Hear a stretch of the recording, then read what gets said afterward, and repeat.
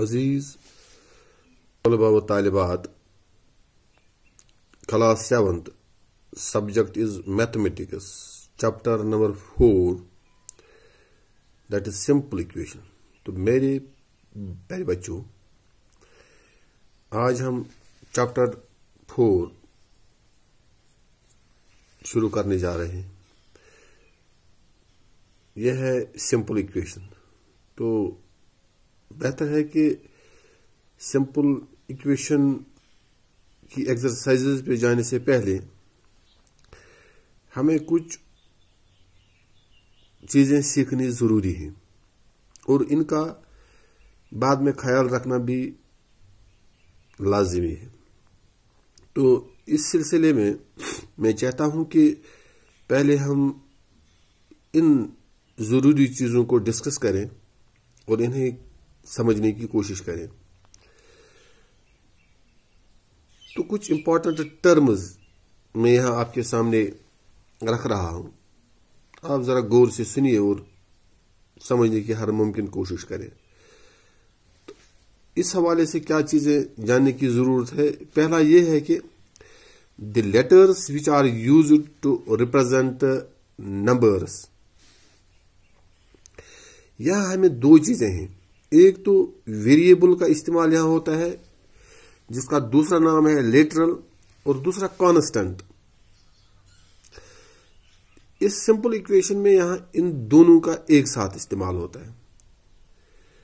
तो जो letters English letters यहाँ इस्तेमाल किए जाते हैं तो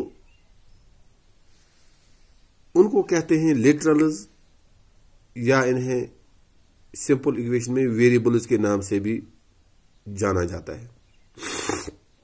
लिहाजा सब याद रखें कि इन्हें लेटरल्स या वेरिएबल्स कहा जाता है। तो दूसरी बात है the letters themselves as well as the combination of letters ये एक से ज़्यादा लेटर भी हो सकते हैं। एक ही लेटर भी हो सकता है। तो इनकी जो कॉम्बिनेशन है नंबर्स के साथ, वो भी all the rules of addition subtraction multiplication and division और इनकी प्रॉपर्टीज़ कहने का मकसद यह है कि जब हम सिंपल इक्वेशन की बात करते हैं, और वहाँ जो वेरिएबल्स और कॉन्स्टेंट्स का इस्तेमाल किया जाता है, और उनकी कॉम्बिनेशन के हवाले से यानी वो इनकी कॉम्बिनेशन भी होनी चाहिए। तो साथ में जो भी four basic operation of mathematics जो हैं एडिशन सब्ट्रैक्शन मल्टीप्लिकेशन डिवीज़न जब वो अप्लाई किए जाते हैं सिंपल इक्वेशन के अंदर, और उनकी प्रॉपर्टीज़ को इस्तेमाल किया जाता है तो कहीं हमें कोई दिक्कत महसूस नहीं हो रही। यानी जिस प्रकार का भी ऑपरेशन हमें दरकार हो, हम बाआसानी हर सतह पे, हर एंगल से, हर मामले में, इन चार ऑपरेशंस में से किसी भी ऑपरेशन को बा आसानी इस्तेमाल करके बाजाबता तौर पर किसी भी किस्म के सवाल को हल कर सकते हैं। यानी कोई दिक्कत नहीं।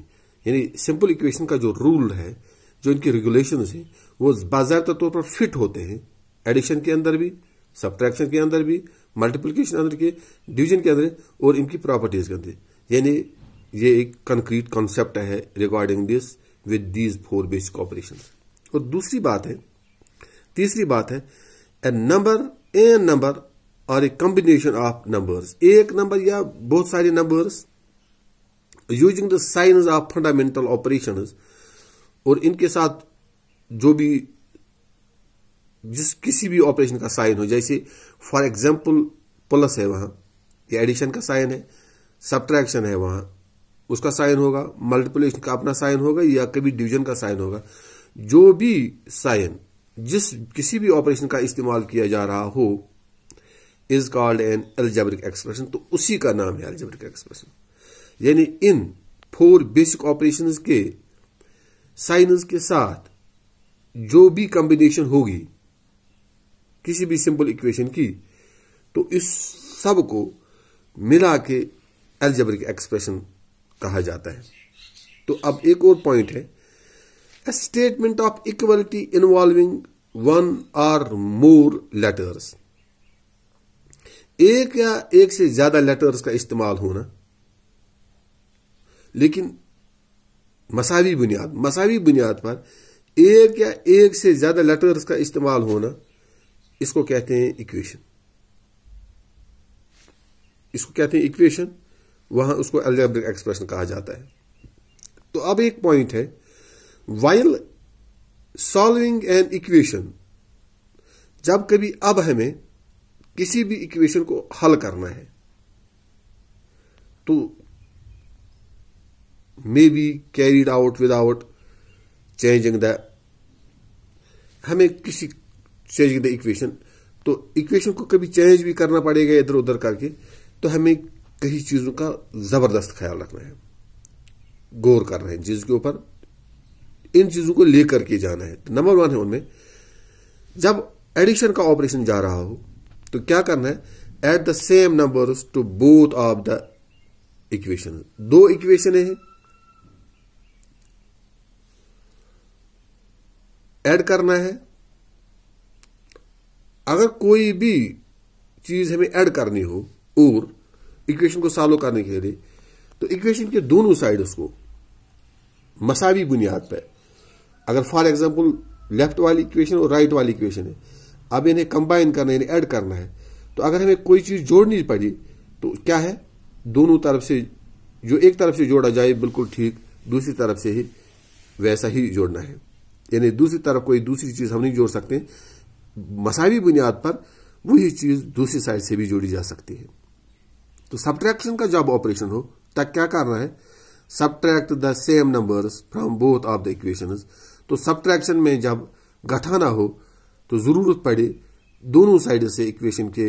यानी बीच में इसका इक्वल तो होता है, यही मतलब है left side right hand side left hand side right hand side तो दोनों तरफ़ जो चीज़ घटानी पड़ेगी, वो बाई तरफ़ से भी वही चीज़ और दाएँ तरफ़ से भी वही चीज़ घटाने की ज़रूरत होती है, तब जाकर के इक्वेशन सॉल्व हो सकती है। तो मल्टीप्लीकेशन में क्या है? मल्टीप्लीकेशन में सेम करना है, बिल्कुल। जो चीज़ दाएँ तरफ़ जरब जिससे जरब दिया जाए या बाएँ तरफ़ भी ठीक उसी से जरब देना पड़ेगा, लेकिन एक शर्त यहाँ जो एडिशन और सब्ट्रैक्शन के अलावा है, वो ये है कि वो जिससे जरब दिया जाए, वो नॉन ज़ीरो होना चाहिए वो ज़ीरो नहीं होना चाहिए, क्योंकि मल्टीप्लीकेशन के ऑपरेशन में ज़ीरो का जो तस्वर है वो इस सारे के ऊपर पानी फेर देता है। यानी जब हम किसी छोटे या किसी बड़े नंबर या किसी चीज़ को भी जरब ज़ीरो से देते हैं तो वहाँ रिज़ल्ट ज़ीरो आता है। लिहाजा नॉन ज़ीरो होना चाहिए, ज़ीरो को छोड़ के किसी भी डिजिट से हम जरब दे सकते हैं। तो ठीक, बिल्कुल यही चीज़ डिवीज़न में भी है। डिवीज़न में भी है, दोनों तरफ़ से हम डिवीज़न कर सकते हैं, लेकिन वो भी वहाँ नॉन ज़ीरो होना चाहिए। यानी एडिशन और सब्ट्रैक्शन में कुछ अलग चीज़ है। और मल्टीप्लीकेशन डिवीज़न में नॉन जीरोज का ख्याल रखना ज़रूरी है। वहाँ हम ज़ीरो का ऐड कर सकते हैं सब्ट्रैक्शन में ज़ीरो का कर सकते हैं, लेकिन मल्टीप्लीकेशन और डिवीज़न में ज़ीरो का इस्तेमाल किए बगैर हम किसी भी डिजिट से मल्टीप्लिकेशन या डिवीज़न कर सकते हैं। तो इस तरीके से ये कुछ अहम पॉइंट्स हैं, जिनके बारे में मैंने चाहा कि आपको पहले इसके बारे में समझाया जा सके। ताकि आगे जाकर के एक्सरसाइज को हल करने में हमें कोई दिक्कत न हो। मैं समझ आज के लिए बस इतना। काफ़ी है। थैंक्स